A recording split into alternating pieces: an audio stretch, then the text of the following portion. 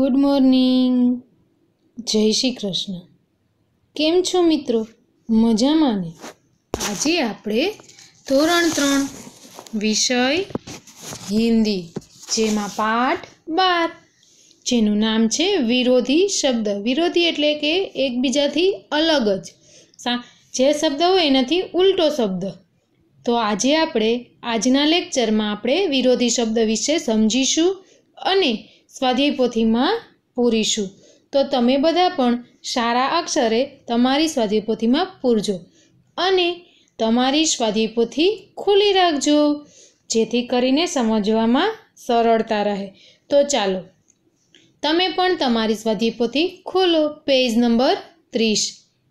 જ્યાં આપણને વિરોધી શબ્દ આપ્યા છે અને ચિત્ર સહિત પણ આપ્યા છે. ચાલો, વર્કશીટ નંબર ત્રેસઠ ઉપર. ચિત્રના આધારે વિરોધી શબ્દ, અર્થ સમજો, વાંચો અને યાદ રાખો. પેલું ચિત્ર બે વૃક્ષ છે. યહ અને વહ. યહ એટલે કે આ, વહ એટલે કે તે. ત્યાર પછી સામે, મિત્ર અને દુશ્મન. મિત્ર એટલે કે ભાઈબંધ. મિત્ર તો તો મિત્ર પણ કહી શકે દુશ્મન એટલે દુશ્મન, શત્રુ. ત્યાર પછી લડકા, લડકી એટલે છોકરો, છોકરી. ગાવ શહેર, એટલે કે ગામ અને ગામ અને એનું વિરોધી શહેર થાય. નૈયા પુરાના, નૈયા એટલે નવું, પુરાના એટલે જૂનું. પ્રેમ, તો એનું વિરોધી થશે નફરત. પ્યાર અને વહાલ એવું પ્રેમનું ગુજરાતી થઈ શકે. નફરત એટલે નફરત. દિન, તો રાત. દિવસ અને રાત. અચ્છા, બુરા, સારું અને ખોરાક. કાલા, સફેદ.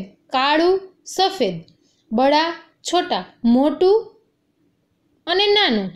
હવે નીચે આપણને વર્કશીટ નંબર ચોસઠ ઉપર શબ્દ લખીને આપ્યા છે આશા, નિરાશા. તો કે આશાનું આશા, નિરાશાનું નિરાશા. લાભ, હાનિ. લાભ એટલે લાભ, હાનિ એટલે નુકસાન. માન, તો એનું વિરોધાર્થી અપમાન. તો ગુજરાતીમાં થશે માનનું માન, અપમાનનું અપમાન. આકાશ, તો એનું ગુજરાતી આકાશ. પાતાળ, એટલે પાતાળ. ત્યાર પછી રાજા, તો એનું ગુજરા એનું વિરોધી શબ્દ થશે રાની રાજા, રાણી. અમીર, તો એનો વિરુદ્ધાર્થી ગરીબ. અમીર એટલે પૈસાવાળો, પૈસાદાર. ગરીબ એટલે ગરીબ. પ્રશ્ન, તો એનો વિરોધી થશે ઉત્તર, એટલે કે એનું વિરોધ વિરોધ શબ્દ બોલ, કહેવાનો અથવા તો યાદ રાખવાનો. ત્યાર પછી સુખ, તો દુઃખ. જીત, એનો વિરુદ્ધાર્થી હાર. જન્મ, એનું વિરુદ્ધાર્થી મરણ. જન્મનું જન્મ, મરણનું મૃત્યુ. સોના એટલે સૂવું, જગના એટલે જાગવું, સૂવું, જાગવું. આયા એટલે આવવું, ગયા એટલે જાવું. ધર્મ, તો એનું વિરુદ્ધાર્થી અધર્મ. ન્યાય, એનો વિરુદ્ધાર્થી અન્યાય. પવિત્ર એનું વિરુદ્ધાર્થી અપવિત્ર. જય તો એનું વિરુદ્ધાર્થી પરાજય. જય એટલે જીત. અને પરાજય એટલે કે હાર થાય ગુજરાતીમાં. હવે આપણે આ બધા શબ્દો તમારે બાળમિત્રો યાદ રાખવાના છે અને ગુજરાતી પણ તેનું યાદ રાખવાનું છે. હવે તેના આધારે આપણે અભ્યાસ એટલે કે પેજ નંબર એકત્રીસ ઉપર જઈએ.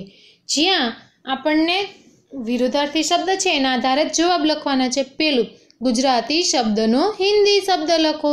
શું તો સોના, ખરાબ તો બુરા શહેર તો શહર, આવવું તો આયા, ઉત્તર તો ઉત્તર, સુખ તો સુખ. હિન્દી શબ્દનો ગુજરાતી શબ્દ લખો. દિન તો દિવસ, કાલા, કાળો, આકાશ તો આકાશ, જગના, જાગવું, મિત્ર તો ભાઈબંધ અથવા તો મિત્ર જ, અમીર તો પૈસાદાર. હવે નીચે આપેલ શબ્દોના વિરોધી અર્થ શબ્દ અર્થવાળા શબ્દો ફરતે બોક્સ કરો અને લખો. હવે યહનું શું થશે?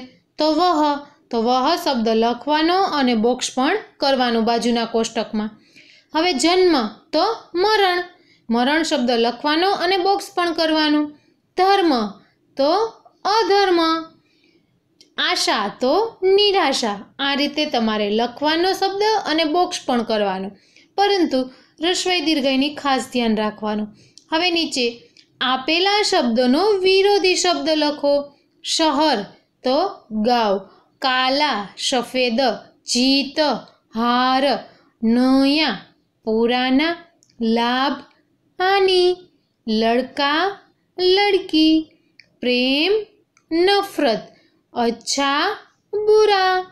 રાજા, રાની. નયા, ન્યાય, અન્યાય. તો આ રીતે તમારે લખવાનું છે. હવે નીચે છે, વિરોધી શબ્દના યોગ્ય જોડકા જોડો. દિન તો રાત. આયા, ગયા. જય, પરાજય. સુખ તો દુઃખ. આ રીતે જોડવાનું. હવે બાજુમાં પણ એમ જ છે. ન્યાય. તો સામેની બાજુમાં બીજા બોક્સમાં અન્યાય સાથે જોડવાનું. પવિત્ર, તો એનો વિરોધાર્થી અપવિત્ર થશે. તો પહેલા બોક્સ હારે જોડીશું. જીત, તો એનું વિરોધાર્થી હાર થશે. તો તેને છેલ્લા બોક્સ હારે જોડીશું.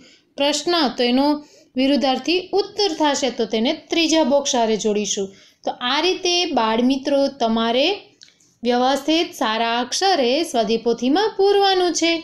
અને સાથે સાથે આ બધા જ વિરોધી શબ્દ છે. યાદ પણ રાખવાના છે. જેથી કરીને તમે સરળતાથી લખી શકો. Thank you